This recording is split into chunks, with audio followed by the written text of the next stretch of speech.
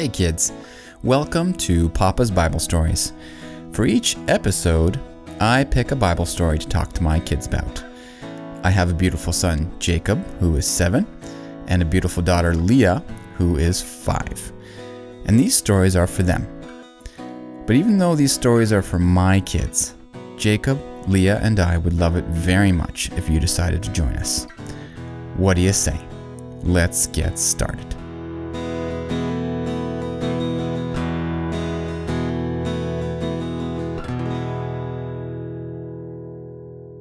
Okay, but before we get started, maybe some kids out there are wondering why there hasn't been any Papa's Bible stories lately. You know, I was looking at the calendar and I'm amazed to discover that it has almost been three months since my last episode. So, what happened? Well, it's been a combination of things. For quite a while, I've not been feeling well. Plus, the summer has been super busy.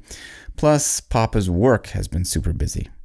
And really, I don't know when these kinds of things are going to interfere with future episodes. So, unfortunately, Papa will just have to get you episodes when I can. And if you feel like it, maybe say a prayer for Papa. All right, now that that's out of the way, let's get started. Rebecca was feeling uncomfortable. Rebecca was pregnant, very pregnant. And as all parents know, towards the end of a pregnancy, a mother usually gets uh, uncomfortable, to say the least. But this was something else. Rebecca felt like there was a battle raging in her belly. And she said to herself, If all is well, why am I like this? So she brought it to God. And God answered. And not only did he tell her why she felt so uncomfortable, but he also told her something about her children's future. Two nations are in your womb, two peoples shall be separated from your body. One people shall be stronger than the other, and the older shall serve the younger. God was telling Rebecca that she was having twins. And that's why Rebecca felt something strange happening in her belly. Two kidzos were fighting in there. And what was God telling her about her children's future? Well, that both of her children would found great nations. The nation from the younger child would be stronger than the older child's nation and that her youngest child would ultimately be more important than the older. Well, time continued, and the Bible says, When her days were fulfilled for her to give birth, indeed there were twins in her womb. And the first came out red. He was like a hairy garment all over. So they called his name Esau. The name Esau means hairy or rough. Afterward, his brother came out, and his hand took hold of Esau's heel. So his name was called Jacob. The name Jacob means supplanter, and supplanter means someone who tries to take someone else's place. And Jacob and Esau grew up. But even though these two sons were born at the same time, to the same parents, and in the same home, they could not have been more different. The Bible describes Esau as a man of the field and a skillful hunter. And Jacob was a mild man and dwelling in tents. Esau was impulsive and rash. Jacob was patient and thoughtful. Esau was violent and rough. Jacob was gentle and peaceful. Esau was hairy, Jacob was smooth skinned. Esau was a wild man, and Jacob was a mild man. And as far as their parents were concerned, well, Isaac and Rebekah came to be drawn to their children differently. The Bible doesn't say why, but what it does say is that Isaac loved Esau, and Rebekah loved Jacob. Now, I'm sure that Isaac and Rebekah loved both their children, but Isaac loved Esau more, and Rebekah loved Jacob more. Now, just so you kiddos know, parents should never allow themselves to love one child more than the other, like these parents are doing. Parents should never play favorites. Each child deserves to be 100% loved by their parents. And parents must be careful to guard how they feel about their children.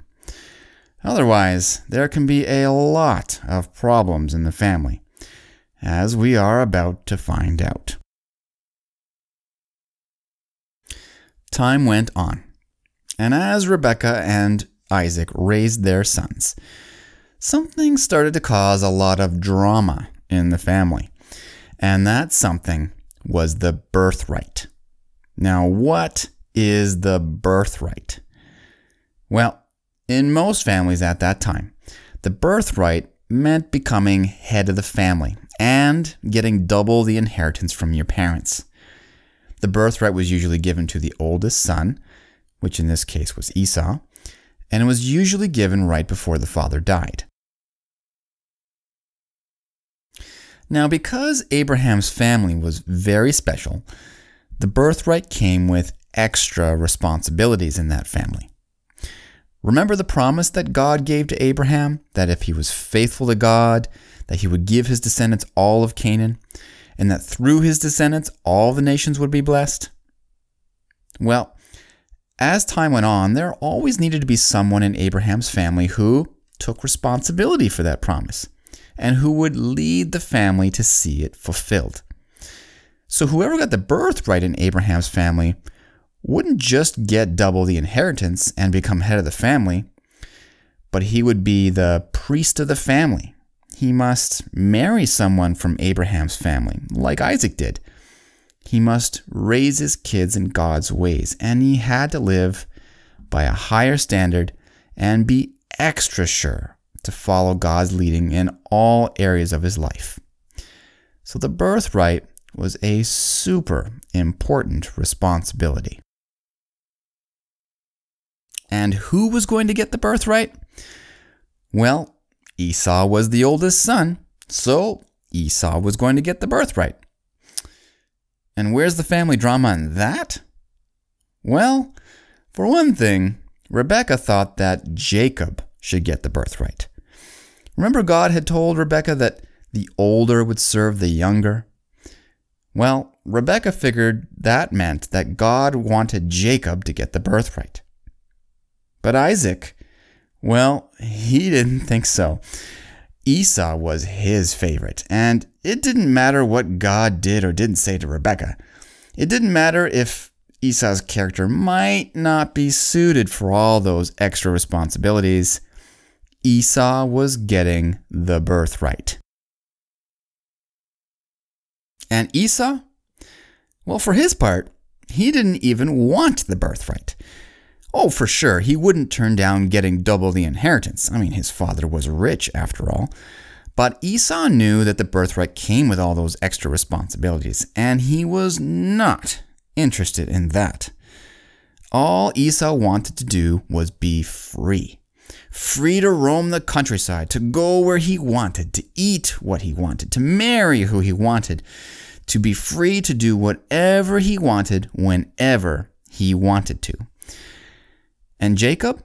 Well, for Jacob, those extra spiritual responsibilities were all that he could think about.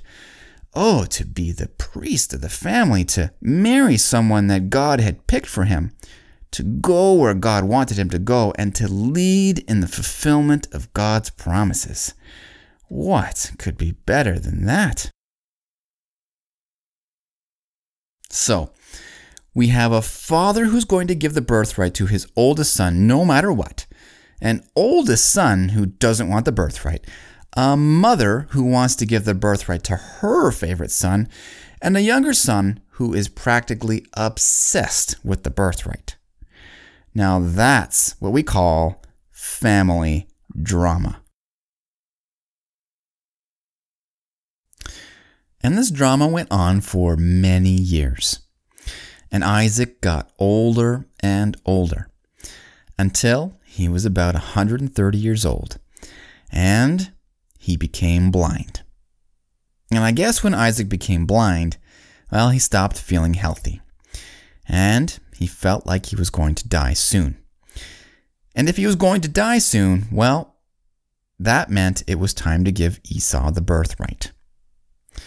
The Bible says that Isaac called Esau to him and said, Behold now, I am old. I do not know the day of my death. Now therefore, please take your weapons, your quiver, and your bow, and go out to the field and hunt game for me, and make me savory food such as I love, and bring it to me that I may eat, that my soul may bless you before I die.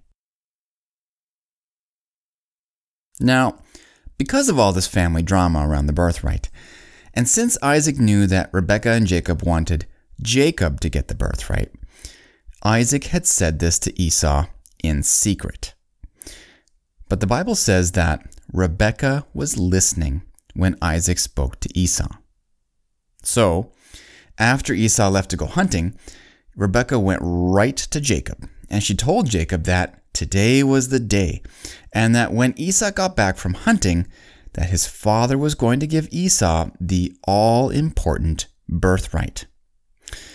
And then Rebekah said to Jacob, Now therefore, my son, obey my voice according to what I command you. Go now to the flock, and bring for me from there two choice kids of the goats, and I will make savory food from them for your father, such as he loves. Then you shall take it to your father, that he may eat it, and that he may bless you before his death. Jacob was probably shocked. His mother wanted him to do what? To pretend that he was his brother Esau and trick his father into giving him the birthright? That was crazy. First of all, Jacob was a kind and conscientious person and had probably never lied to his father in his life, never mind for something so important. And besides, how was it even possible to pretend to be Esau? Yes, his father was blind, but Esau and Jacob were so different. Their clothes were different, they smelled differently, their voices were different. And Esau was super hairy. And if his father discovered what he was trying to do, it would have been a disaster. So Jacob said to his mother, Look, Esau, my brother, is a hairy man, and I am a smooth skinned man. Perhaps my father will feel me, and I shall seem to be a deceiver to him, and I shall bring a curse on myself, and not a blessing. But his mother said to him, Let your curse be on me, my son. Only obey my voice, and go, get them from me. Jacob probably didn't know what to do. He loved his mother. They were very close, and he was used to trusting her. But she wanted him to do something that he knew to be wrong to lie to his own father. He couldn't even imagine doing something like that. But at the same time, he really wanted the birthright. And I mean, really wanted it. So, what was Jacob going to do? Well, with a terrible feeling in his stomach and swallowing hard, he made his decision. He was going to get that birthright. And the Bible says that Jacob went and got them, that is, the goats, and brought them to his mother. And his mother made savory food such as his father loved. Then Rebekah took the choice clothes of her elder son Esau, which were with her in the house, and put them on Jacob her younger son.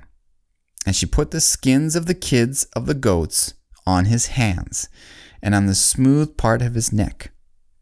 Then she gave the savory food and the bread which she had prepared into the hand of her son Jacob.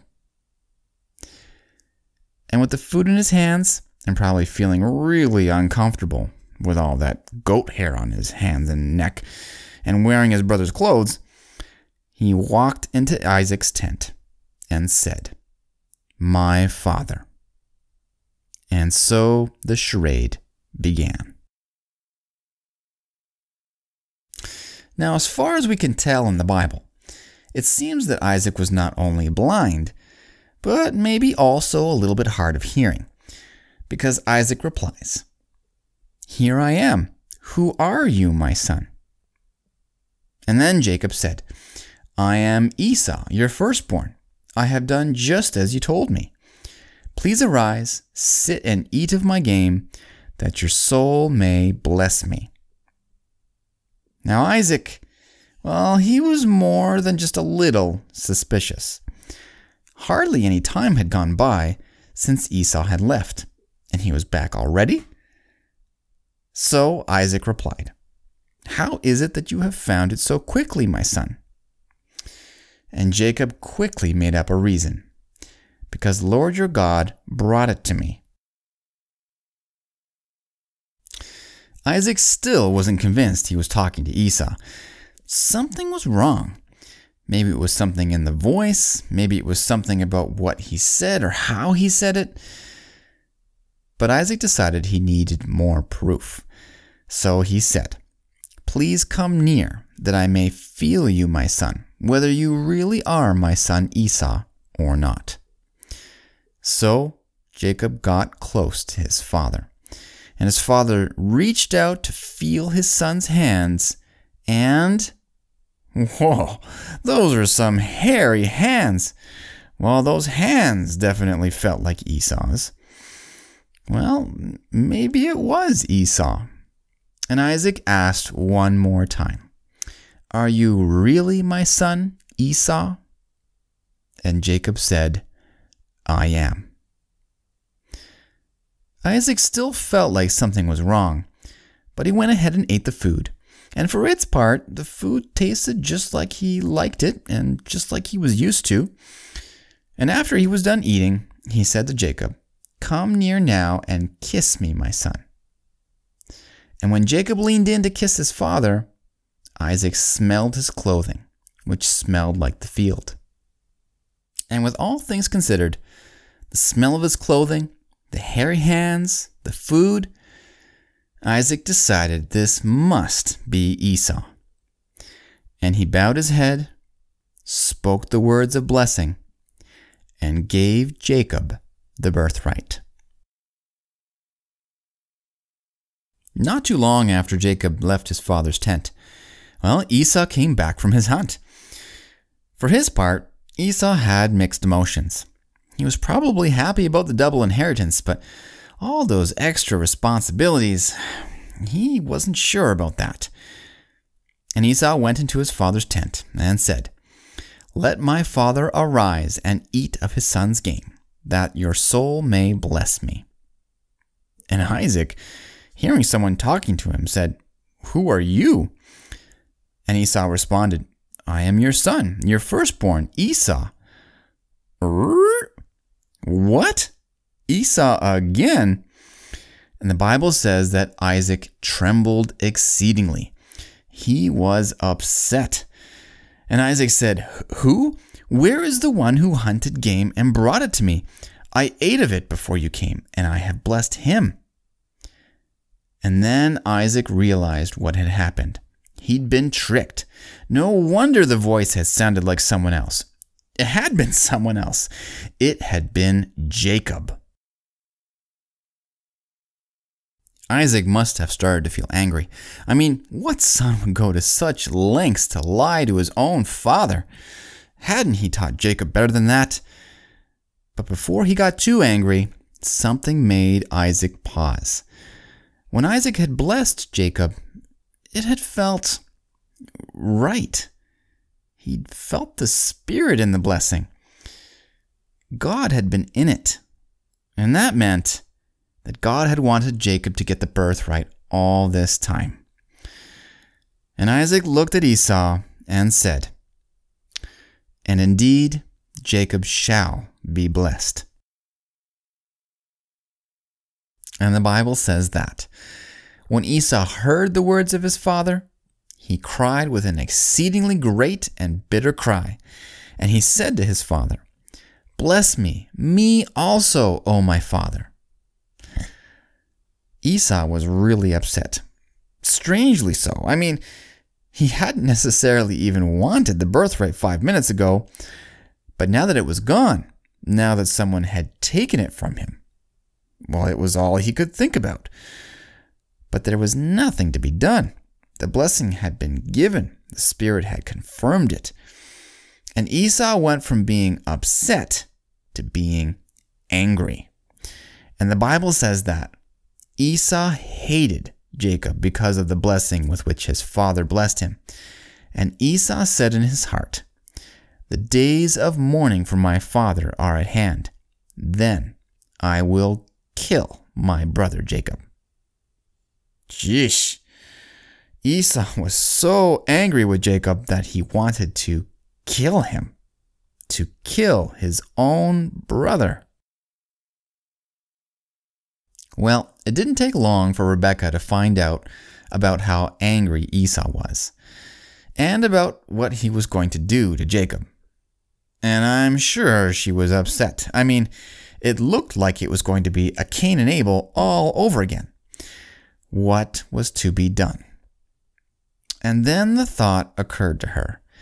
You know, Esau could get mad easily, but if he was distracted, he could cool down easily too. So all she needed to do was find a way to get Jacob out of town for a while. Now, what would be a good reason for Jacob to leave town for a while? What would be a good reason for. Aha!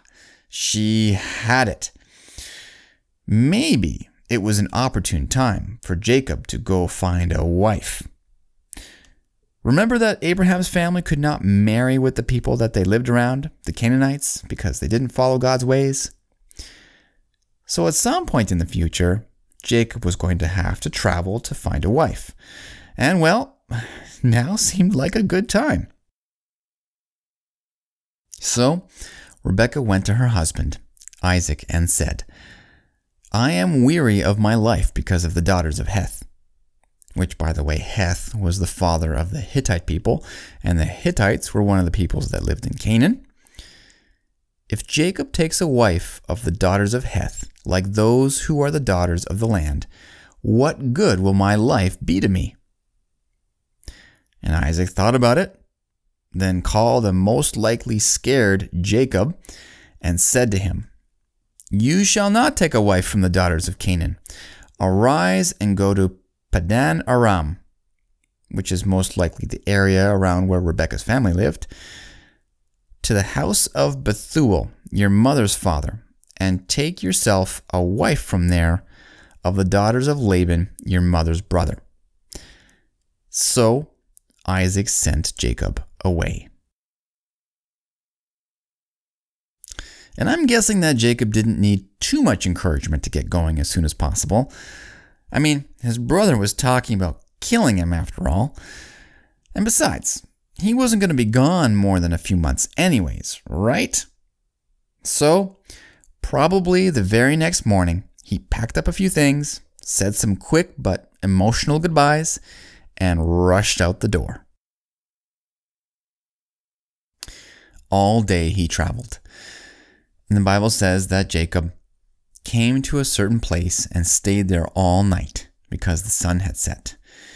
And he took one of the stones of that place and put it at his head, and he lay down in that place to sleep. And as Jacob laid there about to fall asleep, I'd imagine that he felt pretty alone and ashamed. I mean, he hadn't necessarily meant to do something so bad, but he'd done something pretty terrible. He'd lied to his father. He'd stolen the birthright. What did his family think about him? What did God think about him? And how could Jacob ever lead his family to follow God after doing such a terrible thing? These were probably Jacob's thoughts as he drifted off to sleep.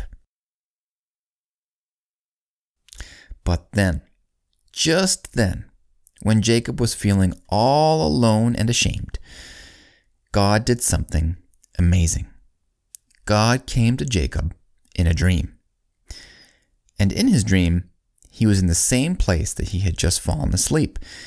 He looked up and saw a huge ladder. The ladder rested on the ground, but the top of the ladder went all the way up to heaven. Angels were going up the ladder to heaven and down the ladder to earth. And God was standing at the top of the ladder in heaven. And then God spoke to Jacob and said, I am the Lord God of Abraham, your father, and the God of Isaac. The land on which you lie, I will give to you and your descendants. Also, your descendants shall be as the dust of the earth. You shall spread abroad to the west and the east, to the north and the south. And in you and in your seed, all the families of the earth shall be blessed. Behold, I am with you and will keep you wherever you go, and will bring you back to this land. For I will not leave you until I have done what I have spoken to you. Now, kidsos, I don't want you to miss this. When Jacob was feeling alone, when he was feeling at his worst, just after he had made the biggest mistake of his life, that's when God came and gave him the promise. God could have chosen any moment to give him Abraham's promise of land and descendants, but he chose that moment because God wanted Jacob to know that he wasn't alone, that God hadn't abandoned him, and that God would always be with him. Because that's what God is like. Now, don't get me wrong, Jacob still had to face the consequences of what he'd done. He was still going to have to leave his family, and he couldn't turn around and go home. But even when we are feeling those consequences, when we are feeling guilty and ashamed of what we've done, God is still with us, and He always will be. All right, kidsos, that's it for this episode. So, what'd you guys think about the story? That was quite the crazy family drama, wasn't it? Well, in the next episode, we're going to continue Jacob's story because lots of other stuff is going to happen to him. But until then, to all the kids tuning in, I hope you have an awesome day. God be with you, and I hope we'll see you next time. Bye bye.